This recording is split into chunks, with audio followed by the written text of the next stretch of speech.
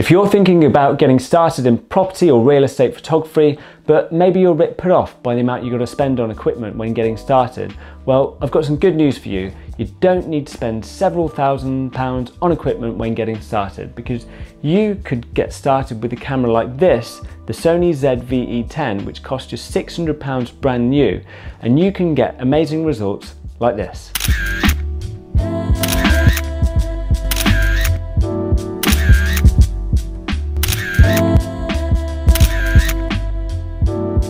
So as you've just seen, you can get some great results with this little camera. And if you stick around to the end of the video, I'll talk through all the gear you'll need to get started in real estate photography and how best to go about getting that on a budget and also how best to finance that so you're not gonna break the bank when you start out.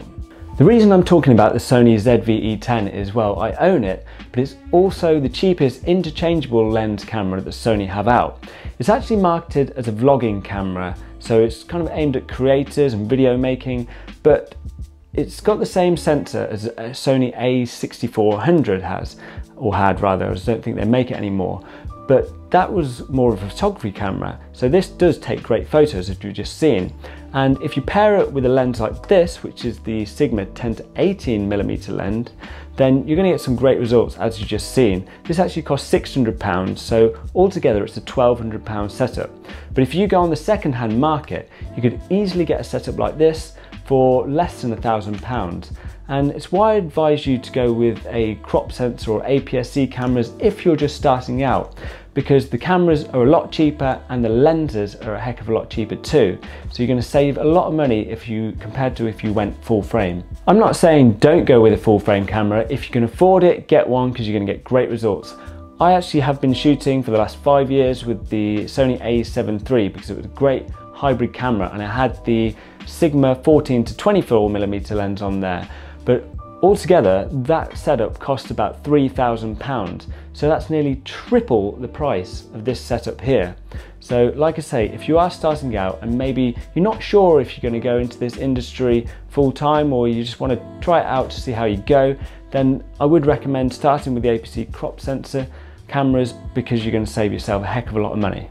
Part of the reason that you don't need to go full frame and you don't need the amazing sensors which are out there which have great dynamic range and work great in low light is because when you shoot real estate photography you're mainly shooting several exposures. Like you might be shooting bracketed HDR shots or you might be shooting flambient. So you're shooting flash and ambient and then you're layering or merging these shots together.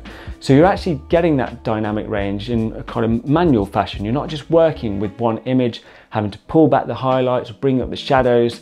You're actually using several images to get all that dynamic range, which is why you don't need the amazing sensors that are, that are out there on the full frame cameras. So you can get away with using these crop sensor cameras and get great results like I've just shown you at the start of this video. Obviously, if you're just starting out in this industry, you're gonna need a few other bits of equipment to get started. So yes, you're gonna need your camera and your lens, but you're also gonna need a tripod to put it on and you're gonna need a flash and a flash trigger. I know there's gonna be some people watching this saying, no, you don't, just shoot HDR, you don't need a flash. That's a whole other video I'm not gonna get into, but I would advise get a flash and a flash trigger so you can do off-camera flash because there definitely are times you're going to need it to get better results. And the other thing you're going to need is a bag carry your equipment in. So let's talk through those now. So in terms of a tripod, you can pick up a tripod for about 50 pounds. I shoot with K&F Concept tripods and mine costs about 80 pounds, but you can get one from them for about 45, 50 pounds and it's gonna be a decent quality and do a great job. When you get one with them, you'll probably get a ball head to mount your camera on. And these are fine, you can use them. I personally prefer to use a geared head as this gives you a bit more stability and a bit more control doing minor adjustments, which is really handy when shooting real estate or architectural photography. And I've actually done another video about that, which I'll put in the links below. But when you're starting out and maybe you don't want to spend money on the geared head because that will cost about 170 pounds, you can just go with the ball head that you'll get with the tripod and you will be able to get the job done. But, and then later down the road, you can get a geared head to put on your tripod.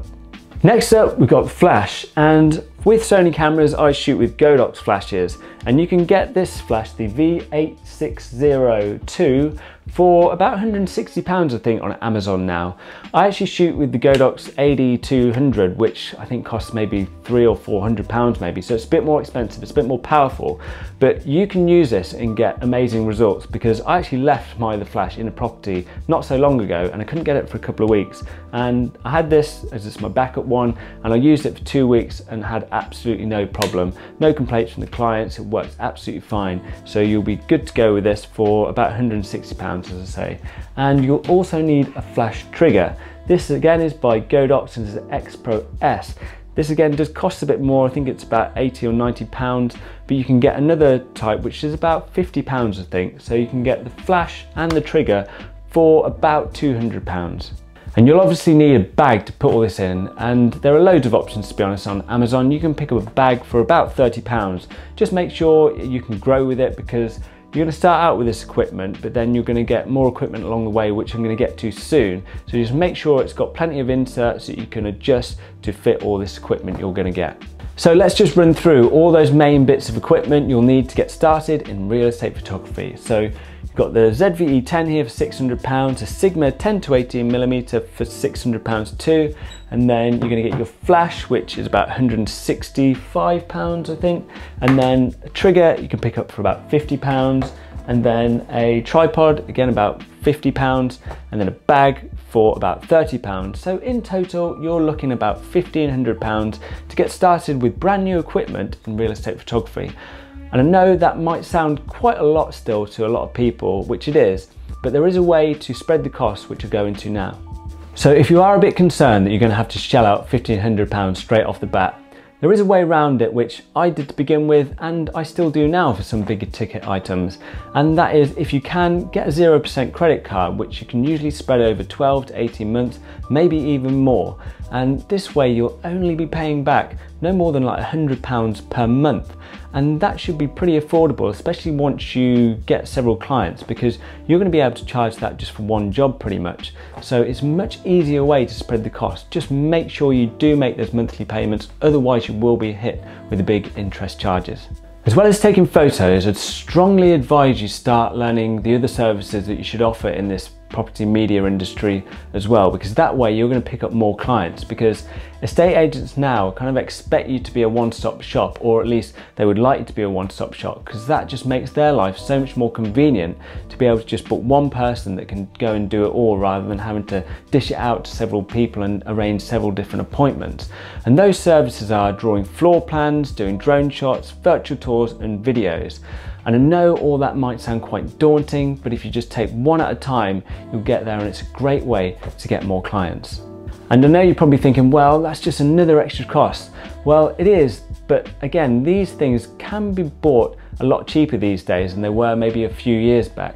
I mean, let's get started with the floor plans, which you really got to be doing, especially here in the UK. If you're not doing floor plans, well, you have to be because just you won't get hired because people expect photos and floor plans just to go hand in hand now. And I draw mine manually. I use a laser and I sketch them out on a notepad and then send them away to be drawn overnight and then send them back to the client the next day. I know in the US, I think a lot of people use Cubicasa, so I'd maybe just take a look at that and get on board with that. But these here, these this is the Leica Disto. I think these cost around £100, but you can definitely get cheaper ones by Bosch for about 50 or 60 pounds perhaps.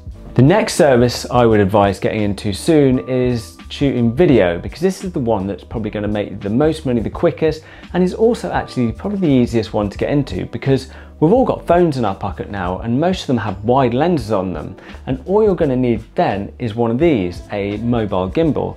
This is the DJI Osmo Mobile 6 and I think it's about probably 130 pounds now. So not cheap, but you can probably get cheaper ones on Amazon which going to do a great job. And you can, once you've got your phone on one of those, you can pretty much put it on auto and get some pretty decent results to be honest. And the other great thing about them is you can easily put them into vertical mode to shoot stuff for TikTok and Instagram Reels, which obviously estate agents love doing now.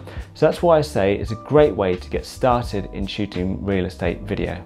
The next bit of equipment I would advise you to get and learn how to use is a drone. This here is the DJI Mini 2 and you can get the Mini 2 SE for about £270 now. The reason these little mini drones from DJI are so great is because they're under 250 grams. That basically means you're going to be allowed to fly them in more places. Obviously, wherever you are in the world, there's different restrictions and different laws you've got to stick to, so make sure you're checking them first. But these little drones are a great place to start. I mean, they do go up to about £700, but they're great because, like I say, you can use them in a lot more spaces. And agents love these elevated views, and they're great to get cinematic footage with for video too. And then the last bit of equipment I would say to get, and probably the easiest one to use to be honest, is doing virtual tours. I mean, this is the Ricoh Theta Z1 here, and it, this is like the top of the range model and costs about £800. But I'd get one that you can use with Matterport because it's a really easy way to create 360 models. And you can get the Insta360 One X2 for about £250 now. And they're so easy to use, and agents do use them a lot. So I'd highly advise getting one as they're a great way to earn a bit of extra cash.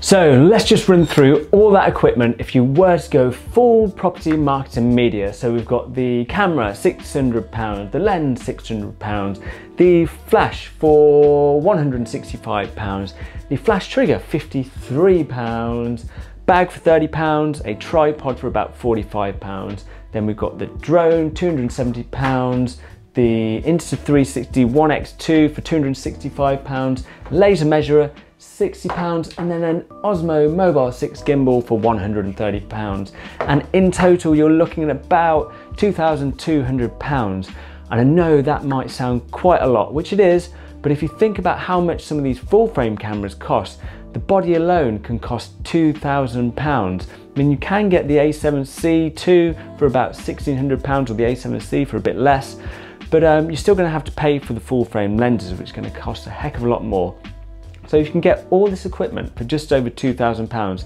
that's pretty good going. And the sooner you can start offering all these services, the more money you're going to make quicker and the quicker you're going to be able to pay all this off. And like I say, if you can do it on a 0% credit card, that's a great way just to spread the cost.